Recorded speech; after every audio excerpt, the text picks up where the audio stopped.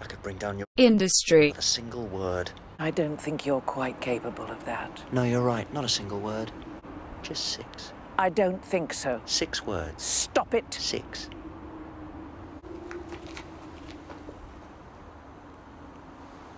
I don't want to eat animals.